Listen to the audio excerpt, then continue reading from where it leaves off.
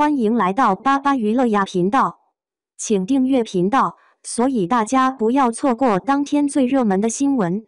我们今天的时事通讯包括以下内容：程毅辛辛苦苦赚钱给傅诗琪花，结果名气还没傅诗琪高。程毅每天工作十几个小时，那么努力挣钱给傅诗琪花，结果名气还没有傅诗琪高。程毅原名傅诗琪。虽然说改了艺名，但是大家都还是特别喜欢叫他原名，喜欢叫他琪琪，也有喜欢叫他依依的，都觉得特别亲切。结果呢，大家叫他小名比程毅的名字还火。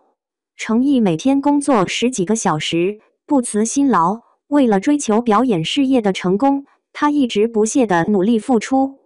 在拍摄期间，他常常几天不合眼。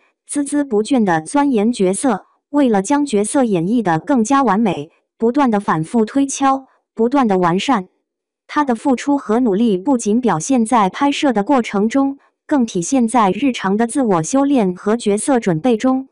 他不断地充实自己，挑战自我，不断超越自己。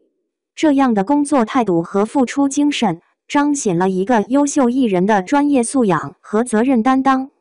傅诗琪是程毅的原名，虽然改了艺名，但依然有许多观众喜欢以傅诗琪的原名来称呼。